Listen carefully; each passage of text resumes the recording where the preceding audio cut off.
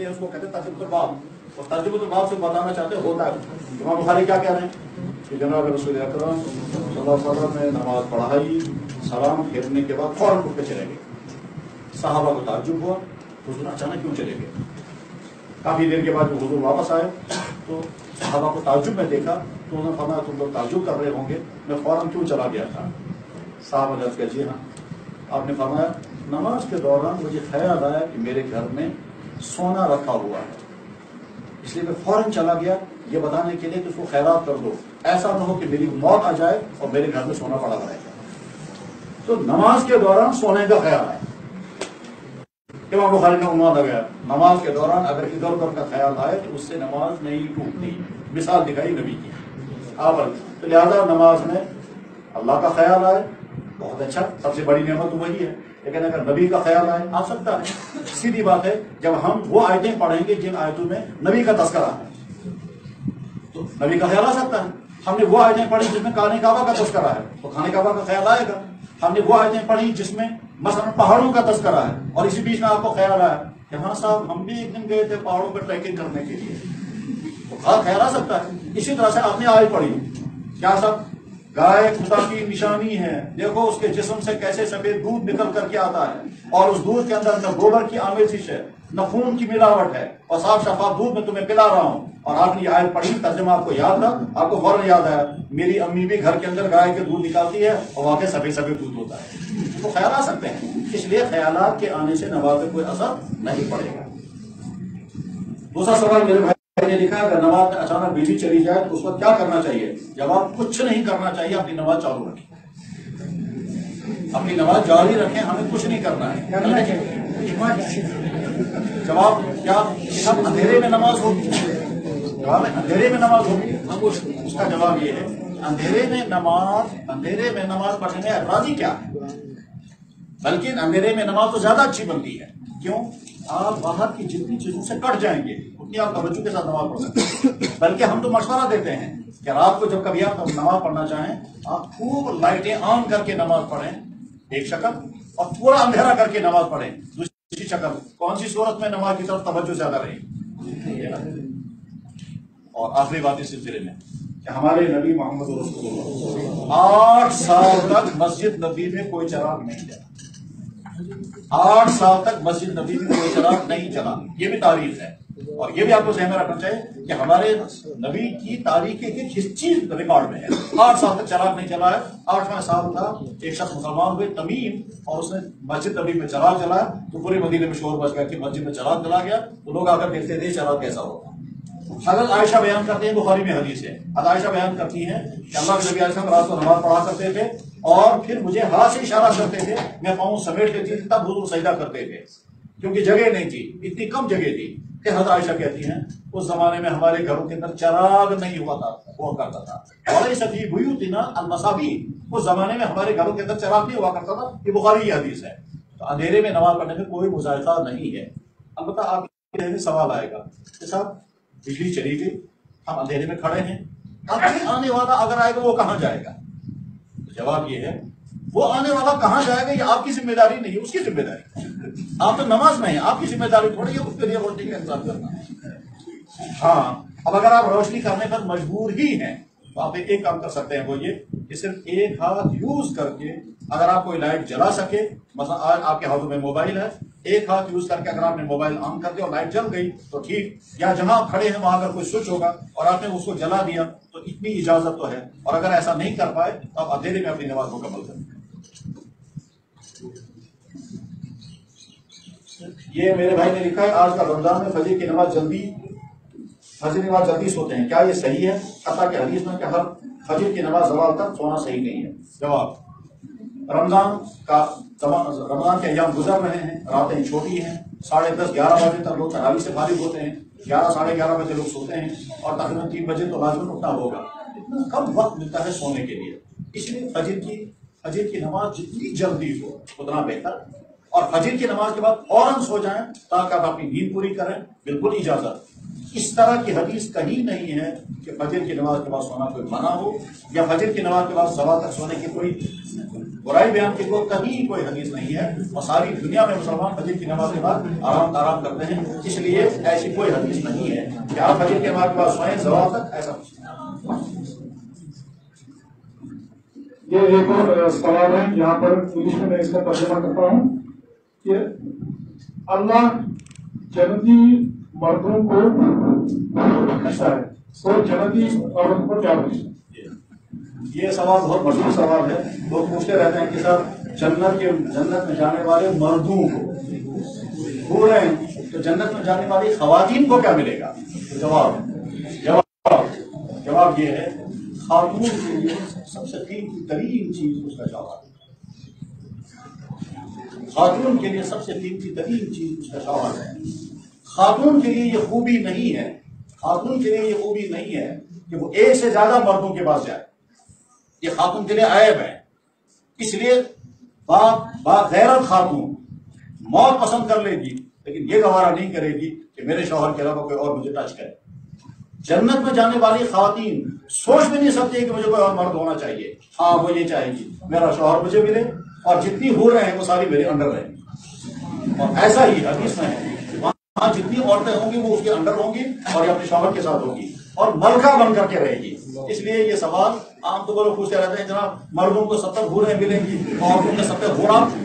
ऐसा कुछ नहीं है। मर्दों के सत्तर घोड़े हैं, उनकी बीवियाँ अगर जन्नत में होंगी तो उनके साथ होंगी। और अगर खुदा न खास्ता, खुदा न खास्ता, बीवी किसी गुना की वजह से जहन्नम में चली गई तो शौहर अपनी बीवी के बगैर यहाँ है, दूसरी जन्नत की औरत उसके निकाह में आ सकती है।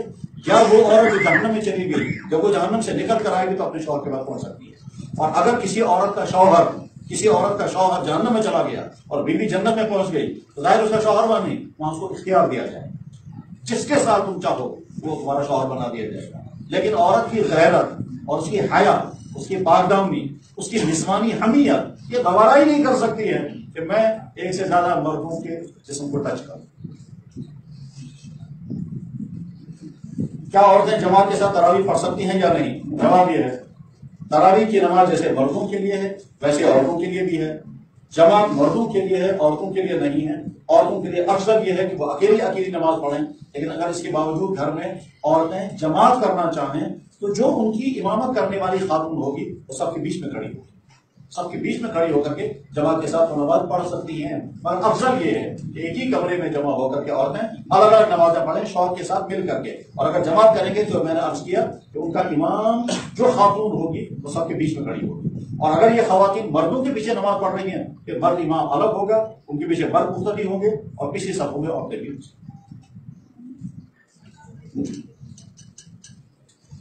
अगर रमज़ान में शैतान बंद होते हैं तो दिल में वसवसे क्यों आते हैं?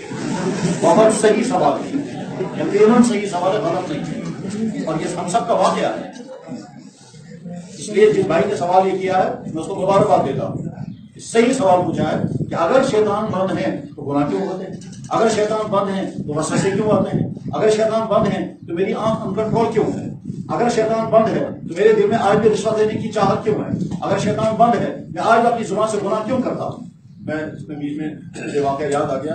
मैं एक दफ़ा जम्मू गया बाबरा मेडिकल कॉलेज में। तो वहाँ एक साहब आए थे तो रात को ग्यारह बजे उनसे मुलाकात थी तो उन्होंने कहा, जी, मैं मुसलमान बनना चाहता हूँ। तो मैंने उनसे अर्ज़ किया कि नहीं, अभी आप सोचें। कहने लगे मुझे छह महीने हो गए सोचते मैंने कहने अभी और सोचो। आप। आपको कोई प्रेशर तो नहीं है? कोई लालच तो नहीं है? कहने कुछ नहीं, कोई प्रेशर नहीं, कोई लालच नहीं। और वो मेडिकल पढ़ रहे थे। मैंने कहा, अभी और सोचे आप बारह को इंतज़ार, रात के दो बजे, फिर वो आए। कहने लगे, जी, मैंने बहुत सोचा। अब खैर, जब वो तैयार हो गए तो उनको करना पड़ा है, वो मुसलमान हो गए। अब वहाँ बहुत सारे कश्मीरी तलबा अब उसने कहा, देखिए, मैं इसलिए मुसलमान बना कि अच्छा इंसान बनने के लिए बुरे कामों से बचना ज़रूरी और इंसान बुरे कामों से तब तक नहीं बच सकता जब तक किसी का डर न हो। और मैं किस चीज़ से डरूँगा? पुलिस वाले का डर मुझे क्या है? उसको दस रुपए दूँगा जो चाहूँगा मैं कर सकता। किसी और चीज़ से मैं क्या डरूँगा? मैं माँ बाप से क्यों डरूँगा? डर एक ही चीज़ का है, वो है खुदा का डर। और वो खुदा का डर मुझे तब मिलेगा जब मैंने इस्लाम कबूल किया। अब मैं मुसलमान हो गया, अब कश्मीरी लड़कों को क्या क्या अब मैं तुम्हें दिखाऊँगा मुसलमान कैसा होगा। मैं तुम्हारी तरह नहीं हूँ? खैर तो सवाल यह है कि ये बुरे ख्याल कहाँ से आते हैं? जब शैतान बंद है, जवाब। इंसान को बुराइयों की तरफ़ खींचने वाली दो ताकतें काम करती हैं। एक इंसान का नफ्स और एक शैतान। शैतान तो बंद है, मगर नफ्स तो ज़िंदा है। उस नफ्स को कंट्रोल करने के लिए रोजा रखा गया तो चूँकि नफ्स हमारे साथ साथ है, वही नफ्स हमें उभारता है गुनाहों के लिए। और रमज़ान जो है, उसी नफ्स की ट्रेनिंग कोर्स है। अगर वो नफ्स काबू में आ जाता है तो उसके बाद फिर चुनाचे, मैं अपने भाई को इसी शहर में, उन्होंने बहुत दिलचस्प बात कही। क्या लगे, जी, एक वक्त मेरा वो था कि मैं हर हर अपनी बहन का पीछे पीछा दौड़ने लगता था। और जहाँ कहीं चमकती हुई औरत नज़र आ गई मैं पीछे दौड़ने लगता और मुझे बड़ी बेकरारी होती थी जब तक मैं उसको देखूँगा फिर एक वक्त आया कि मुझे दिल में ख्याल आने लगा ये गुना फिर एक वक्त आया, अपने आप को मैं समझाने लगा, अपने आप को बचाओ। मगर मैं बचा नहीं था। क्या लगा फिर एक वक्त आया कि मैं अपने आप को थोड़ा थोड़ा बचा लेता था और कभी कभी गुनाह हो जाता था। फिर एक वक्त आया कि मैंने मुकम्मल तौर पर बचाने लगा। कहते आज मेरी हालत ये है। आज मेरी हालत ये है। अब जुमला उसने देखिए। कहते आज मेरी हालत ये है कि मैं नज़र से तजाइन बराबर। मेरी नज़र में आ खातून और पत्थर दोनों बराबर हैं। तो मुझे कोई फ़र्क नहीं पड़ता है ये मिजाज पैदा हो जाए। मैं नज़र में से तजाइन शानदार जुमला बोला। मैंने कहा, यार, ये तो तुमने तारीखी जुमला बोला है और याद रखने के काबिल है और सामने काफिया भी जोड़ा है। तो बहरहाल, नफ्स इंसान के साथ लगा हुआ है। इसी वजह से इंसान के दिल में वसवसे आते हैं अगर कोई गैर महरम के रिश्ते में हो तो वह तौबा करना चाहता है तो क्या हो बहुत अच्छा सवाल है। यकीन हमें से बहुत सारे लोगों का हाल ऐसा होगा कि हम किसी गुनाह के काम में हैं, आज ही तोबा करें। और जब तोबा करेंगे तो अल्लाह की इतनी मोहब्बत आती है अपने इस बंदे से कि जो गुनाह की ज़िंदगी गुजार रहा था, और फिर अल्लाह, मैं तोबा करता हूँ। हदीसों में है, सौ बूढ़ों के तौबा करने पर अल्लाह को इतनी खुशी नहीं होती जितने एक जवान के तौबा करने पर। इसलिए अगर गलत ताल्लुकात में है गलत रिलेशन से आज ही तर्क कर दें और तौबा करते या अल्लाह, मैं तौबा करता हूँ मुझसे गलती हो गई है, मैं आज अपने आप को सुधार लेता हूँ और सुधारने के बाद अब नई ज़िंदगी स्टार्ट करता हूँ। इसकी हज़ारों मिसालें हैं। एक मिसाल मैं अर्ज़ करता हूँ, मुझे जम्मू मेडिकल कॉलेज से बांद्रा मेडिकल कॉलेज से लड़के ने फ़ोन किया। क्या लगा जी, मेरे किसी खातून के साथ ताल्लुकात हैं? खातून के साथ ताल्लुकात हैं। लड़का क्या पूछना चाहते हैं? अच्छा जवाज है। तो तो हराम है। पर ये आज तुम्हें क्या सवाल कैसे पैदा हुआ? आज पूछना चाहते हो। क्या लगा जब मैं जमात में निकला था? तो वहाँ मुझे ख्याल आया कि शायद ये गुनाह होगा। तो मैंने कहा, ये हराम है और छोड़ना ज़रूरी है। क्या लगा जी बहुत मुश्किल है, कैसे छोड़ूँगा? तीन चार साल से हमारी चल रहे हैं। मैंने कहा, तुम छोड़ने का इरादा करो कुछ ना कुछ। कहा जी कैसे छोड़ेंगे? मैंने कहा, तुम जाकर लड़ाई करो उससे, किसी भी उन्वान से, और लड़ाई करने के बाद ताल्लुका खत्म करो। कैसे लड़ाई करो? मैंने कहा और तो मैं नहीं बता सकता मुझे यूँ तुम मुझसे जाकर के कहो, मैंने सुना तुम्हारा किसी और के साथ भी इसके बाद, असर के बाद ये बात हो रही ईशा के बाद लड़के ने फ़ोन किया। क्या लगा, जी अलहमदुल्ला लड़ाई हो गई। मैंने कहा, अल्हम्दुलिल्लाह, बहुत अच्छा हुआ। क्या लड़ाई हो क्या लगा, मैंने जाकर उससे कहा, मैंने सुना तुम्हारा कहीं और भी है उसने कहा, बिल्कुल नहीं। मैंने कहा, नहीं, तुमने मुझे धोखा दिया, उसने कहा, बिल्कुल नहीं। इसी में मैंने लड़ाई कहता, लड़ाई हो गई, अब मैं आपसे पूछना चाहता हूँ उसके कुछ गिफ्ट्स मेरे पास हैं। मैं कल सुबह जाकर उसको ये दे के आऊँगा और सी ऑफ़ करूँगा मैंने कहा हाँ कहता हमको दूसरे तरीके से पता अब जब तुम सुबह जाओगे और अपने इश्क का अंजाम, बुरा अंजाम और उसके बाद फिर एक दर्द लेकर के वापस आओगे और दो तीन आँसू बहा कर ये शैतान ने तुमको खेला। खैर, उसके चंद दिनों के बाद कोई खातून फ़ोन करती है। वो कहती है फला साहब है? मैंने कहा, जी हाँ। कहते तुझको ही कर। तीन साल का ताल्लुका आपने हमला अलहमदुलिल्लाह, तुम एक काम करो, तुम एक काम करो, तुम अपने बाप का मुझे नंबर दे दो, मैं तुम्हारे बाप का भी फ़ोन करूँगा, तुम्हारी बेटी वहाँ मेडिकल पढ़ने नहीं गई है बार ये कर रही है और जल्दी मुझे नाम बताओ, अपने बाप का नंबर दे दो। क्या कहना महाराज मेरा रुपये नहीं मैं तो उतना नंबर दे दो मुझे अपने वालिद का, मैं तुम्हारे वालिद से कहूँगा, मैंने तुम्हारी बेटी के मामले में ये सुना और ये मैंने किया। अगर मेरे भाइयों, आपकी जमाने की ज़िंदगी में ये शैतानी चीज़ें आपको लग सकती हैं। आप चाहे लड़के हो, चाहे लड़कियाँ हो, दोनों को ये चीज़ें पीछा कर सकती हैं और हो सकता है बहुत सारी इसमें मुबतला हो, अपने आप इस जहर से बचाएँ। ये मीठा है, मगर जहर है। अंदर इसमें जहरी जहर है। ये चीज़ आपके कैरियर को तबाह करेगी, आपके अखलाक को तबाह करेगी, आपको काबिल नहीं बनने देगी। आपका पैसा न जाने किन किन चीज़ों में खर्च होता रहेगा। आप हर वक्त इसी टेंशन में होंगे। आजकल हमारे ताल्लुकात में तलखी आ गई, अब क्या करें? अब मनाएँ या ना मनाएँ? और तरह से आप गाने सुनेंगे तो इसी रूप से, आप म्यूज़िक सुनेंगे इसी रूप से, आप खाम का आशी बनना चाहेंगे और माशू बनना चाहेंगे, फिर ख्यालों में अपने आप को कुर्बान करेंगे और कुर्बान होने लगेंगे। इन ख्यालों की दुनिया में आपकी जवानी को लग जाएँगे और लग जाएगा। इसलिए आज ही तौबा करें, जिनको इस तरह के ताल्लुकात हों और यहाँ से तौबा करके निकल जाए और अपने दूसरे लोगों को भी ये मैसेज दें।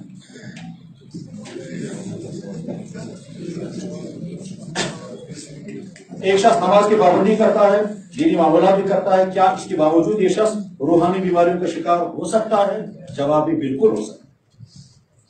नमाज़ पढ़ने के बावजूद इंसान नमाज़ रूहानी बीमारियों का शिकार हो सकता है। आप कहेंगे, फिर नमाज़ का फ़ायदा क्या हुआ? जवाब यह है कि नमाज़ की दो किस्में एक नमाज़ वो है जो इंसान को बुराइयों से रोक देती है। इन सला नमाज़ तुमको बुराइयों से रोकती है। और एक हमारी नमाज़ है बाहर रोज की नमाज़। ये बेजान नमाज़ है। ये ऐसे समझ लीजिए कि दूध के अंदर से सारी मलाई निकाल दी है, अब उसमें पानी बाकी बच गया है। तो ठीक इसी तरह से ऐसा हो सकता है कि एक इंसान नमाज़ पढ़ रहा हो और उसके अंदर बुराई, कुछ बुरे ख्याल मसलन, एक इंसान नमाज़ पढ़ रहा है, उसके दिल में केवल आ गया है। ये सारे बेनवाजी, में एक नमाजी। तो केवल की बीमारी है। एक इंसान नमाज़ पढ़ रहा है, वो दूसरों को हकीर समझने लग गया, अपने आप को बरतर समझ लग गया बीमारी आ गई। क्या ऐसा हो सकता है, नमाज़ तो पढ़ रहा है, मगर हमसाए में, पड़ोस में किसी ने नई गाड़ी लाई, इसके में हसर पैदा हो गया, हाय, ये क्यों नई गाड़ी लाए, मेरा तो अभी वही खटा रहा ऐसा हो सकता है कि इसका बच्चा खुदा ना खाता फेल हो गया, और पड़ोसी का बच्चा जो है उसने फ़र्स्ट डिविजन से पास किया, उसके दिल में नफरत आ गई, हसद आ गया, मेरा बच्चा फेल इनका बच्चा पास क्यों हुआ। ठीक इसी तरह से और देखिए आगे। नमाजी इंसान है, मगर मगर इसी से मुझे तकलीफें पहुँची। मान लीजिए, मेरा कुलीग मेरा कस्टमर मेरा दोस्त, मेरा स्टूडेंट मेरा पड़ोसी, किसी के ज़रिए मुझे तकलीफें पहुँची हैं। मैंने जबान से कुछ नहीं कहा, मैं नवाजी हूँ, मगर दिल में सौ और दुबारियाँ इससे मुझे बड़ी तकलीफें पहुंचाई। इसके बाद मैंने सुना उनको हादसा हो गया। तो मेरे दिल में खुशी आई। असल बोनस पता म्योनी कश्मीर दोस्त कहते मेरी आगे बात कर गई ठीक? ये जो मेरे दिल में खुशी आई, ये बीमारी। मुझे खुशी नहीं आनी चाहिए दिल में, मुझे गम होना चाहिए। इसने मुझे सताया ज़रूर है। आज अगर इनको तकलीफ़ पहुँची है, मुझे खुशी नहीं आनी चाहिए, मुझे रहम आना चाहिए, या अल्लाह। अगर चमचू आ रहा तकलीफ़ आत हो। मगर अगर मुमकिन समय तकलीफ़ हुआ खुदा हम तकलीफ़ बस काटूँगी। और मुझे फ़ौरन जानना चाहिए कि मुझे बहुत दुख हुआ आपको तकलीफ़ पहुँची है ये फ़ौरन सोचने लगे कि मैंने तो दफ्तर में इतना सताया और आज मुझे हादसा पेश आ गया, ये फ़ौरन मेरी ताजियत के लिए आ गया कितना अच्छा इंसान है, मेरे इस रवैये का असर इस पर पड़ेगा। तो नमाजी बनने के बावजूद इंसान को बीमारियाँ लग सकती हैं, इसीलिए हमारे पूरे सिलसिले तसवुफ में बैत करने का सिलसिला जो है वो इसीलिए है। क्या साहब? कि बैत करने के ज़रिए से इंसान की रूहानी बीमारियों की तरबियत होती है। इंसान बरतर होने के बावजूद तवाजु रखेगा। अहदा है अफसरी का। किबर आएगा क्योंकि कुर्सी है, और कुर्सी उसको बड़ा कहेगी। डिग्री हाथ में बरतरी आएगी। मौलवी साहब को टेंट आ गई, मैंने दस किताबें पढ़ी इन्होंने दो किताबें भी नहीं पढ़ी। आलिम को टेंट आएगी मैंने आठ साल कोर्स वाले किया, मैं फाजिल हूँ, और मैं फला यूनिवर्सिटी से पढ़ करके आऊ मैं नकली से पढ़कर आया। मैं अशरफी हूँ, मैं कासमी हूँ मैं अजहरी हूँ, जहाँ अजहर से पढ़ करके आया। इन्होंने दो किताबें भी नहीं पढ़ी अभी। इन्होंने कुरान का तर्जमा इनको नहीं आता है, मैंने दस तफसीरें पढ़ी है। किबर आएगा किबर कभी आएगा इल्म की बना पर, किबर कभी आएगा अहदे की बना पर, और कभी किबर आएगा खूबसूरती की बना पर। देखा मैं, ऐसा समाट लड़ वो देखा कैसे बदसूरत है। तो हुस्न की बना पर किबर आता दौलत की बना पर किबर आता है, ओहदे की बना पर हत्या की इबादत की बना पर भी किबर आता है। इबलीस को इबादत ही का किब्र तो आया था कि मैं इतना इबादत गुजार हूँ फरिशों से आगे निकल गया। इन बीमारियों का इलाज तरबियत के ज़रिए से होता है और उनसे एक इलाज होता भी।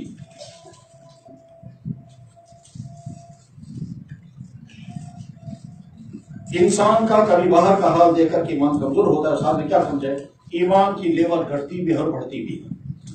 घटती और बढ़ती कैसे है? जब गुनाह करते हुए डर लगे जब अंदर से ऐसा डर हो कि गुनाह से रोक रहा है तो अल्लाह की ईमान अच्छी हालत है।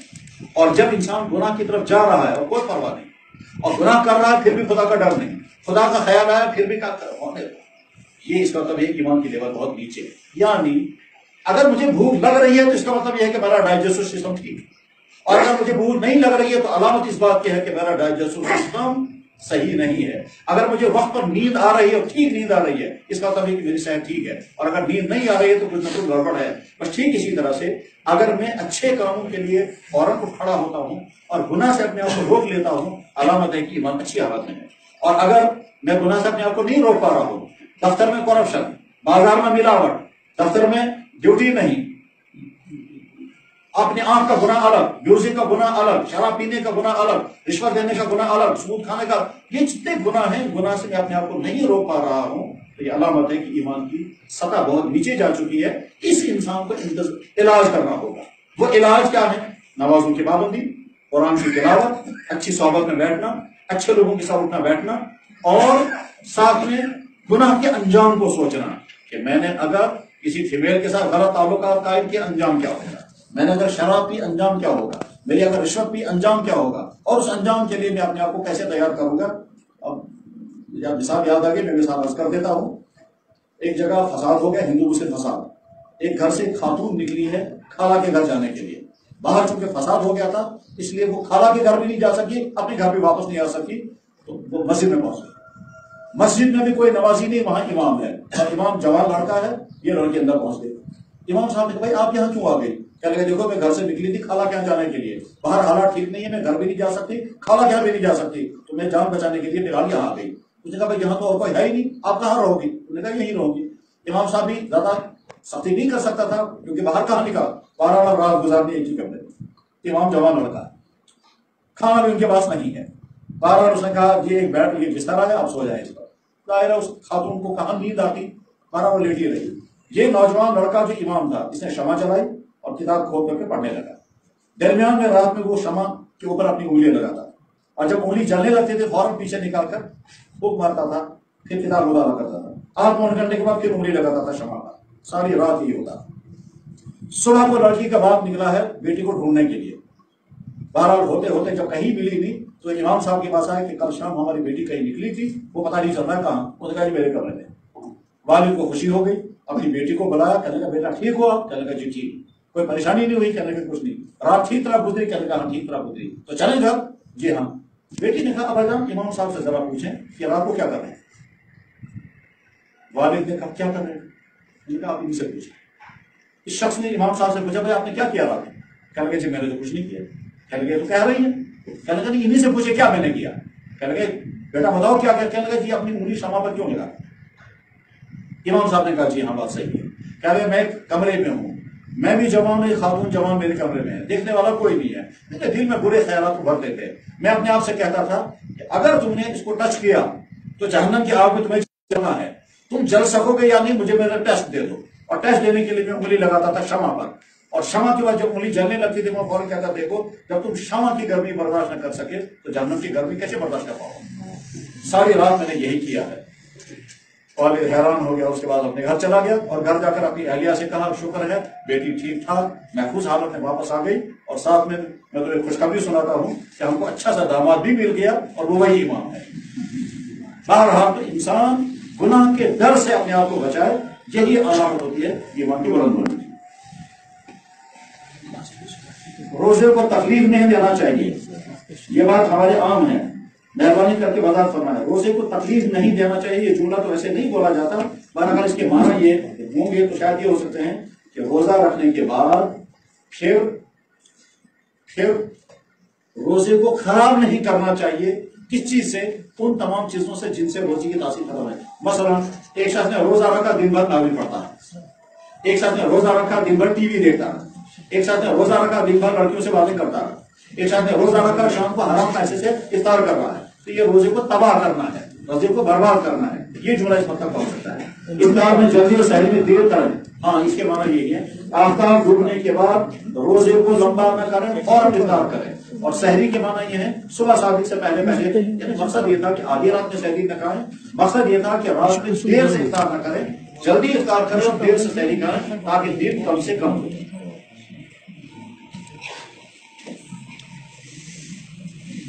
अगर नमाज़ के दौरान वज़ू टूट जाए तो क्या करना चाहिए? जवाब ये है कि नमाज़ के दौरान अगर वज़ू टूट जाए तो ऑप्शन दो ऑप्शन नंबर एक, आप निकल जाएँ, वज़ू करके वापस आए और जहाँ से नमाज़ आपने छोड़ी, वहाँ से आगे छोड़ दूसरा ऑप्शन ये है कि आप नमाज़ के दौरान वज़ू टूट गया, नमाज़ तोड़ दें। और नमाज़ तोड़ने के बाद वापस जाकर के नया वज़ू करके नई नमाज़ स्टार्ट करें। ये दूसरी वाली हालत ज़्यादा बेहतर है, वह मुकाबले पहली।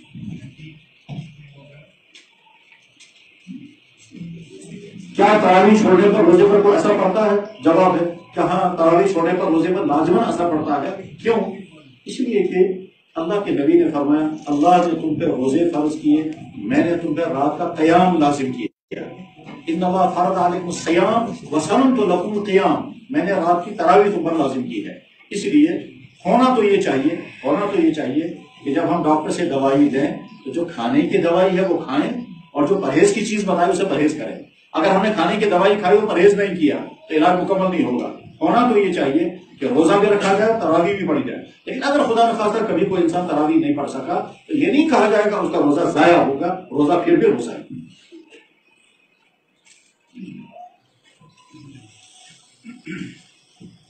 अखलाक और कानून क्या फ़र्क? बहुत शानदार सवाल है, बहुत डिटेल में गुफ्तू करने की चीज़ है। अखलाक और कानून में फ़र्क ये है, फ़र्ज़ कीजिए एक आदमी ने हमको गाली दी। कानून का तकाजा है कि मैं उसको सजा दे पाऊँ अखलाक का तकाजा है कि मैं उसको माफ़ अल्लाह के नबी को जो वाक्य मैंने अर्ज़ किया था, उसमें कानून का तकाजा यह था कि उसको सजा दी जाती और अल्लाह के नबी ने अखलाक का मुजाहरा करके उसको माफ़ कर दिया। एक शख्स मुझे थप्पड़ मारा मुझे हक देता है इस्लाम भी और कानून भी कि मैं इस थप्पड़ का कानूनी जवाब इनको दूँ। वो कानूनी जवाब क्या होगा वो अलग बहस है। लेकिन कानून और अखलाक मुझसे कहता है कि माफ़ कर दो। तो अखलाक बरतर चीज़ है कानून कमतर चीज़ है। मेरा इस शख्स के जिम्मे कर्जा है और एक महीने के लिए कर्जा है। एक महीने के बाद मुझे इसके खिलाफ क्लेम करने का हक है और ये कानून मेरा हक है। अखलाक कहता है, अगर इसने एक महीने के बाद तुमको कर्जा अदा नहीं किया तो और मोहलत दे दो, और ढील दे दो। एक महीने के बाद भी ये कर्जा ना अदा कर सका, अखलाक कहता है, और मोहलत दे दो। कानून कहता है, तुम्हें इसके खिलाफ एक्शन लेने का हक है, हत्या कि तुम्हें कहने का हक है। तुम अपने हाथ में घड़ी मत रखो घड़ी मैं निकाल लूँगा ताकि मैं अपना पैसा वसूल करूँ। तो अखलाक का दायरा वसी है कानून का दायरा महदूद है अखलाक से दिल जीते जाते हैं। कानून से हुकूक का तहफ़ होता है। कानून से हक महफूज होता है और अखलाक से तरहम फैलता है। रहम इंसानियत फैलती है। अगर किसी ने ख्याल में किसी आदमी को देखा और लोग ज़ोर ज़ोर से चिल्लाते हैं कि मोहम्मद ए मोहम्मद तो क्या वो मोहम्मद हो सकते हैं या नहीं? इस बारे में थोड़ा सा बताइए। ये एक एतबार से बहुत नाजुक मामला है क्योंकि मामला है जनाब रसूल के साथ। इसलिए बहुत मोहतात रहने की ज़रूरत है। मजीद ये कि अल्लाह के नबी ने फरमाया कि जिसने मुझे देखा, उसने मुझे ही देखा। मेरी शक्ल में कोई और नहीं आएगा ऐसा तो हो सकता है कि दूसरे इंसान के रूप में कोई और आ गया, लेकिन नबी के रूप में कोई और आ जाए, ऐसा नहीं होगा। ये अल्लाह ने गोया मामली सिक्योरिटी का एक खास इंतज़ाम फरमाया कि कोई और आए और कहे, मैं मोहम्मद हूँ, ऐसा नहीं हो सकता। नंबर तीन, कभी ऐसा होगा तो हजूर की जियारत हो जाएगी, मगर शक्ल वो नहीं आएगी जो शक्ल हमने किताबों में पढ़ी है। मैं इसकी मिसाल बताता हूँ। एक साहब ने कहा कि जी, मैं हैरान हूँ। क्या बात हो गई? कहेंगे मैंने हजूर की जियारत की, सिगरेट पीते मैं हैरान हूँ, ये क्या? तो मैंने कहा, आपको ताजुब नहीं करना चाहिए। सिगरेट पीना अच्छा है, बुरा है। क्या तुमको अच्छा लग रहा है या बुरा? क्या जी अच्छा नहीं लग रहा है। मैंने कहा, ये मैसेज तुमको दिया गया है कि जो काम तुम मुझे करते हैं अच्छा नहीं, मैं भी अच्छे पसंद नहीं करता तो वो काम क्या? लगा, आज ही की बात तोबा करता हूँ, आज बात कभी नहीं इसीलिए तुमको इस शक्ल में दिखाए तो कभी ऐसा होता है कि इंसान ने काला चश्मा पहना तो सफ़ेद चीज़ भी काली नज़र आई। बस ठीक इसी तरह से कभी ऐसा हो सकता है कि हुजूर की जियारत हो गई इस हाल में कि हुजूर की शक्ल नहीं, कोई और शक्ल दिखाएगी नंबर तीन, जहाँ कश्मीर में बहुत लोग हुजूर की जियारत करते रहते हैं तरह तरह के हालात। जैसे सैलाब की दुनिया में बहुत लोगों ने हुजूर की जियारत की और हुजूर ने गम का इजहार फरमाया, मेरी उम्मत का क्या हो गया? और ऐसा ही हमारी हमारी जानने वाली खातन में से खातून ने कहा कि मैंने खार में सुना कि अजाज मुताहरा की ईदगाह में आई। तो हम भी दौड़ करके पहुँची कहा तो आज़ाद मुताहरा को हमने बुरके में देखा और फरमाया, ये तमाम कश्मीरी औरतें जो बगैर बुरके के ये हमारे रास्ते पर नहीं है। इसीलिए सलाह और फिर कहा कि अगर ये सिलसिला बढ़ता रहेगा तो और आए। ये कहकर उसकी आँख खुल गई। खैर तो हुजूर को जब इस तरह से ख्वाब में दिखता है, उस वक्त इस आदमी को देखना पड़ता है, इस आदमी के हालात देखने पड़ते हैं। फिर ख्वाब में उसने क्या देखा? लोग चिल्ला रहे हैं, मोहम्मद मोहम्मद तो वो हुजूर की जात नज़र आई, या कोई चीज़ जाती हुई नज़र आई। इसी तरह से कभी हुजूर का मसलन जनाजा होता हुआ नज़र आया। उसका मतलब कुछ और होता है। कभी हुजूर जवानी में नज़र आते हैं, उसका मतलब कुछ और होता है। कभी बुढ़ापे में नज़र आते हैं, उसका मतलब कुछ और। कभी बहुत गमजदा कभी बहुत खुश। तो हालतें अलग अलग हैं, ताबीरें भी अलग अलग हैं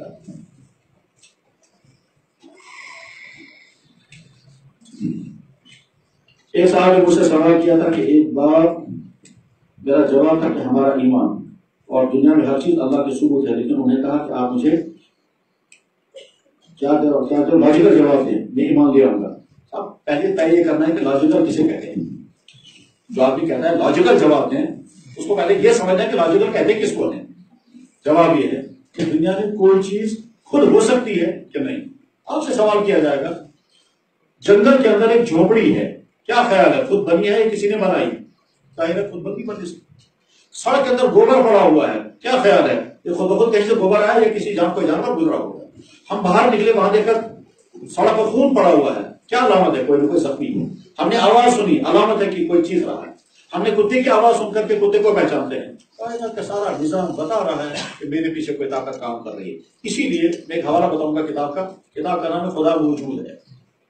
किताब का नाम है खुदा मौजूद है उसमें साइंस के तकरीबन हर शोबे के आला दर्जे के माहरीन की राय ये है कि नहीं साहब, खुदा के बगैर ये कायनात नहीं है। हर इल्म के आला दर्जे के जो माहिरीन की राय अखीर में आई है, वो यही है कि सुप्रीम पावर कहीं ना कहीं कोई ना कोई है। एस्ट्रोनॉमी वाला अखीर में कहता है इससे आगे कुछ है। बॉटनी वाला अखीर में कहता है इससे आगे कुछ है। हर इल्म वाला अखीर में कहता है कोई ना कोई है। जो ऊपर से इसको कंट्रोल कर रहा है जहाँ इल्ला तो मालूम तो सिलसिला खत्म होता है अब इसके बाद अगर कोई इंसान ना माने तो क्या किया जाएगा? दुनिया में मुकदमेबाजी होती है। एक आदमी हंड्रेड परसेंट रॉन्ग होता है, फिर भी कहता है हक पर हो। हक को न मानने वाली दुनिया में लॉजिक नाम है, इस चीज़, हिदायत का दरवाज़ा खुल जाए तो छोटी चीज़ को भी हिदायत मिलती है। और वरना तो ऐसा भी होता है कि साहब, सूरज तोड़ ला कर दिखा गया तब भी इंसान नहीं मानता।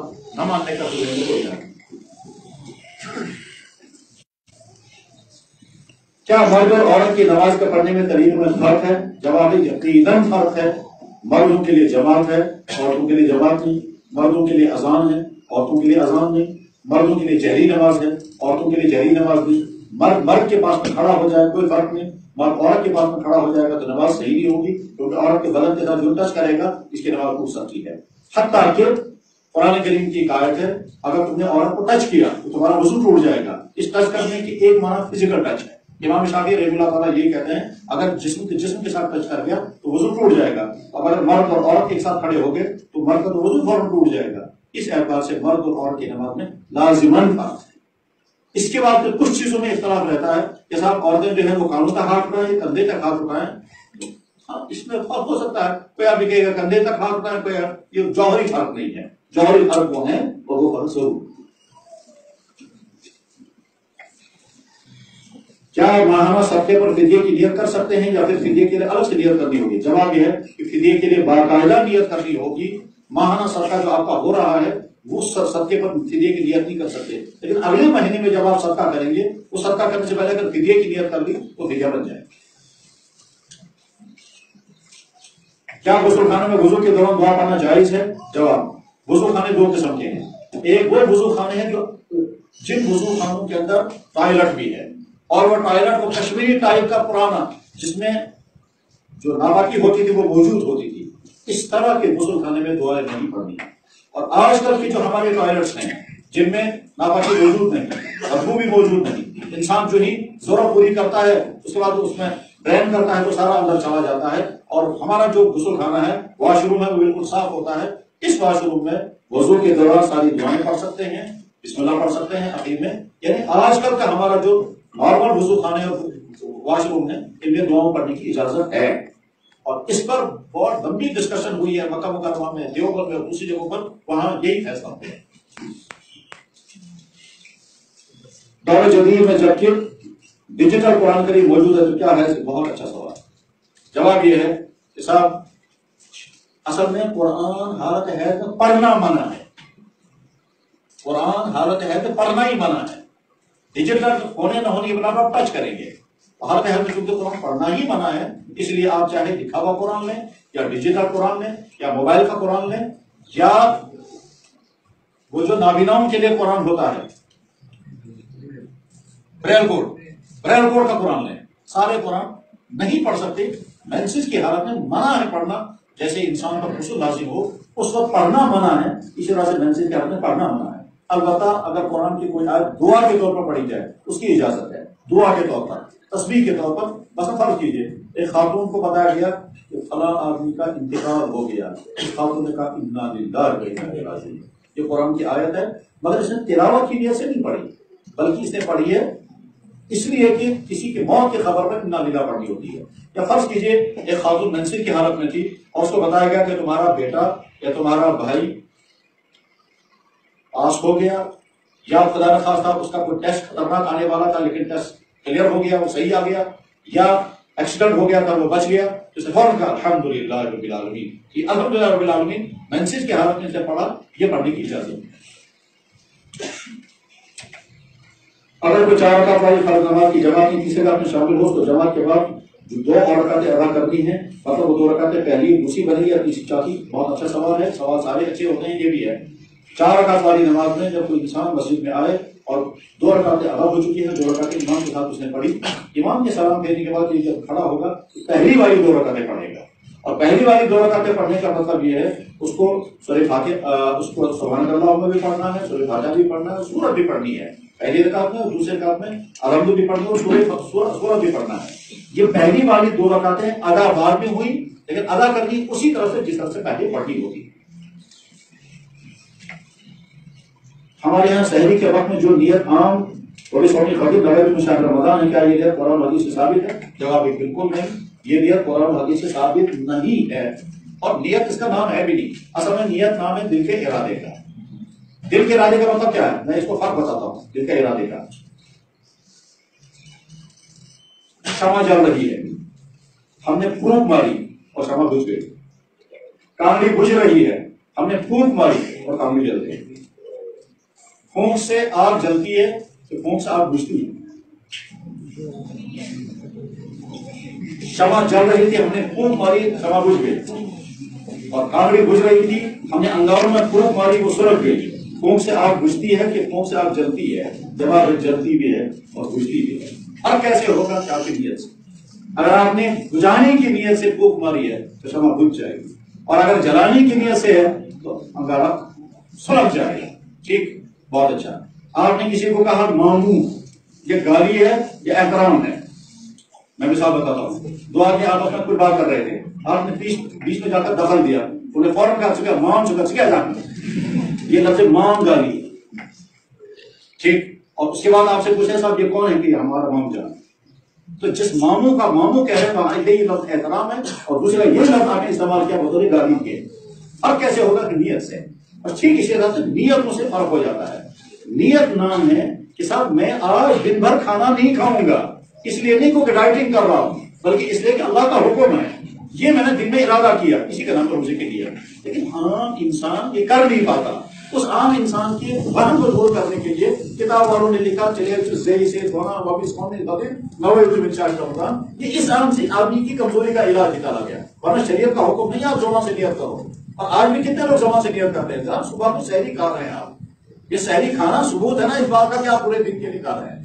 आपका दिन का, सुबह का शहरी खाना यही नियत है अलग से वबी सोमी गदी नवे रमज़ान न कुरान में है, न हदीस में है, न ये लाजिम है। अलबत्ता ये आम इंसान जो नहीं समझ पाता, यहाँ कश्मीर के लोग एक काम करेंगे, उनसे क्या नियत हो सकती उनकी पसंद होती। काम किया बेकार मतलब हमारे पास लोग आते हैं, जनाब मेरी बीवी से लड़ाई हो और लड़ाई में मैंने बीवी से कहा सुशक में बाज बना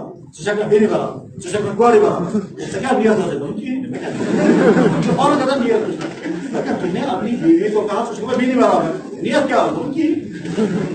अब क्या कहते हो तुम्हारी बहन तुम्हारे लिए हराम तुमने अपनी बीवी को अपनी बहन के बराबर कहा इसका मतलब है ना कि जैसे तुम्हारी बीवी तुम्हारी बहन तुम्हारी हराम है ऐसी बीवी आना जाना दिया दिया अब जो सोना मुझे पैसा दिया थी अब ये है बेचारे यहाँ की मजबूरी ऐसे इंसानों को तो है नियत किस तरह? ऐसा दिल से। है दिल से नियत? है दिल से नियत करो ना कल जी दिल से कैसे नियत करूँगा? इस इंसान का इलाज बताया गया। तुम जबान से नवाई अब जनाब कल को रोजा रखना है। ये कल है? कल का कल ही है। आप शहरी जिस वक्त खा रहे हैं, वो अभी सुबह शादी से पहले का दिन है। सुबह शादी के बाद कल का दिन शुरू हो जाएगा। इसलिए कल का वक्त इस्तेमाल किया जाएगा। अगर हमारे तालीमी इदारे ऐसे हैं कि जहाँ लड़के और लड़कियाँ एक साथ पढ़ते हैं वहाँ लड़की खुद को कैसे भी हया से बचा सकती है? जवाब, बहुत अहम सवाल है। बहुत अहम सवाल है। और सब हमारी बेटियों बहनों का सवाल है। और जवाब ये है कि क्या लैट्रिन जाना ज़रूरी है जहाँ कोई चारा बचने की वो शक्ल है कि कोई बैठने की शक्ल नहीं? और करना क्या है? उनके साथ लैट्रिन जाना भी है और वहाँ की गंदगी से अपनी बॉडी और अपने कपड़ों को बचाना। बस ठीक इसी तरह से हमारे सामने असल भाग ये था कि हमारा तालीमी निज़ाम लड़कों के लिए अलग होता, लड़कियों के लिए अलग होता। जितनी हमारी बेटियाँ तैयार हो जाती, वह हमारे फैमिली स्टाफ में काम करती, वही पढ़ाने वाली होती, वही उनके स्कूल का निज़ाम चलाने वाली होती, हमारे लड़कों का निज़ाम अलग होता। तो माशरा पाक साफ़ रहता। मगर चूँकि मखलू तालीम निज़ाम है, इस मखलू तालीम निज़ाम को हम चेंज नहीं कर सकते। अब जब चेंज नहीं कर सकते तो हमारे सामने एक ऑप्शन यह है कि पढ़े ही ना। ज़ाहिर है वो ऑप्शन ले नहीं सकते। एक ऑप्शन यह है कि हम घर से बाहर ही ना निकले, वो ऑप्शन हम ले नहीं सकते। दूसरा ऑप्शन ये है कि हम जाएँ और हर जगह पहुँचे और अपने आप को बचा करके दिखाएँ मैं इसकी मिसाल बता के बात खत्म करता हूँ। इसी शहर का एक डॉक्टर जिसके कल शाम भी मेरी मुलाकात उनसे वो मेडिकल पढ़ने के लिए जम्मू गए। यहाँ से ये इरादा करके गए कि मेरे बैच के अंदर जितनी खातन होंगी, जितनी लड़कियाँ होंगी, न कभी किसी की शक्ल देखूँगा, न कभी किसी से बात करूँगा। न कभी किसी से नाम पूछूँगा। और इस काम में पाँच साल गुजारूँगा कि मुझे अपने बैच के किसी लड़की की शक्ल भी याद नहीं होनी चाहिए, नाम भी याद नहीं होना चाहिए। पाँच साल गुजारने के बाद जब वो वापस आया, वो कहता है, मुझे अपने बैच के किसी लड़की की शक्ल भी मालूम नहीं और किसी लड़की का नाम भी मालूम ये आज नगर डॉक्टर है और कामयाब डॉक्टर है। तो बारह जब आप इरादा करेंगे बचने का तो बचा सकते हैं अपने आप को। आपके चारों तरफ़ से पीछा होगा। लड़का, लड़के का, लड़की का भी पीछा हो सकता है, लड़की का पीछा हो सकता है। आप अपने आप को बचाने का इरादा करें और उसमें जब आप मुकाबला करेंगे तो मुकाबला करने वाले देखिए आपने नमाज़ में ख्याल करने पर फरमाया कि कोई वज़न नहीं है। हम ख्याल से भागना चाहते हैं, मगर क्योंकि हदीस में कहा नमाज़ में कोई इधर उधर ख्याल आया तो ठीक है। पहली बात यह है कि नमाज़ में इधर उधर का ख्याल आया, उसे नमाज़ टूटती नहीं है। मगर हमें नमाज़ को नमाज़ में ध्यान लाने के लिए तरह तरह की तदबीरें करनी ज़रूरी है। उन तदबीरों में से एक तदबीर नमाज़ स्टार्ट करने से पहले सारे ख्याल से निकाल दें और अपने आप को समझें कि जैसे मैं सीसी कैमरे के सामने सीसी कैमरे के सामने और उस वक्त आदमी बहुत हाथ रहता है तो मुझे पता है सीसी कैमरा मुझे कैच कर रहा है। ठीक इसी तरह से खुदा मुझे देख रहा है। मैं खुदा के सामने हूँ और मेरे एक एक अक्षर को खुदा देख रहा है, मेरे पढ़ने को देख रहा है। ये सोच के जब आप नमाज़ पढ़ने लगेंगे, यकीन जाने, ऐसा लुत्फ कभी आ सकता है कि दुनिया की किसी भी चीज़ में ऐसा मज़ा नहीं है। किसी भी चीज़ में, न किसी खाने में, न किसी से मुलाकात करने में ऐसा मज़ा आएगा जैसा मज़ा उस नमाज़ में आ सकता है, जिस नमाज़ में अल्लाह का इस्तेजार और खुशबू हो। तरीका नंबर एक। तरीका नंबर दो। नमाज़ में जो कुछ पढ़ा जाता है, उसका तर्जमा याद कर लिया जाए। और तर्जमा याद करने के बाद जब हम पढ़ने लगेंगे तो ट्रांसलेशन सोच सोच करके पढ़ेंगे मसलन हमने पढ़ा सुबहान अजीम तो मैं सोचूँगा, मैं अल्लाह से कह रहा हूँ अल्लाह, आप बहुत पाक हैं, बहुत बड़े और अल्लाह मुझसे कह रहे हैं कि एक मतलब और कहो। फिर कहता हूँ सुबहान अल्लाह कहते हैं, एक मतलब और कहो। मैं हूँ सुबहान जैसे बाप बेटे से कहता बेटा, जरा फिर तो एक मतलब कहो। तो जैसे बार बार हम सुन करके लुत्फ हैं, ऐसे ही अल्लाह मुझसे कह रहे हैं जनाब, ऐसा भी हो सकता है सौ सौ मरतबा सजदे में सुबह बिन पढ़ेंगे और बंदगी में तीसरा तरीका यह है कि किरात सीखें और किरात सीखने के बाद जैसे तजवीज में कुरान पढ़ा जाता है, उस तरह से। और आखिर ये, या अल्लाह जब आपने मुझे नमाज़ के लिए खड़ा कर दिया तो ध्यान वाली नमाज़ वो वो नमाज़ अदा कर दीजिए, जिस नमाज़ में मुझे लुत्फ आए। और मैं ऐसी नमाज़ पढ़ूं, मैं कहूँगा, या अल्लाह देखिए, मेरा कयाम कितना अच्छा है, आपको अच्छा लगा? मेरा रुको कितना अच्छा? मेरा सजदा कितना अच्छा? जैसे हम अपने घर में किसी को लाते हैं, कहते साहब, ये यखनी है कितनी अच्छी, और ये रिश्ता बनाया कितना अच्छा और ये चटनी भी कितनी अच्छी। हम चाहते हैं हर चीज़ अच्छी से अच्छी हो। ऐसे ही मैं नमाज़ पढ़ूँगा, ऐसी अल्लाह को लगे, रुकू भी बहुत अच्छा था, सजदा भी बहुत अच्छा था तेरा भी बहुत अच्छी थी, और आखिर में दुआ भी बहुत अच्छी तरह से मांगी। तो अल्लाह तला फरमाते हैं, मेरे बंदे, तू वहाँ से क्या कहा मैं यहाँ से क्या कहा ये नमाज़ अल्लाह को बहुत पसंद आती है। और हमने इस तरह की नमाज़ पढ़ने की तरगीब भी की गई है फ़ोटो भी दिया।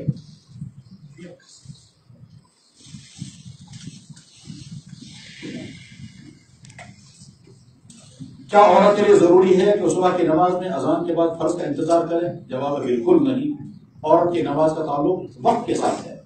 अजान हुई या नहीं हुई? आपने जो ही देखा, वक्त हो चुका, आप अपनी नमाज़ पढ़ लें। अजान हो गई, वक्त पर आप फ़ौरन अपनी नमाज़ पढ़ सकते हैं। मस्जिद में जमात कब होगी? ये मस्जिद वालों का काम है। कि वो जल्दी जमात करें या देर से करें। देर से रखेंगे, उसकी वजह हो जल्दी नमाज़ पढ़ेंगे, उसकी। औरत को मस्जिद की जमात की नमाज़ का कोई इंतज़ार करना लाजिम नहीं है। नहीं। ये पेज है।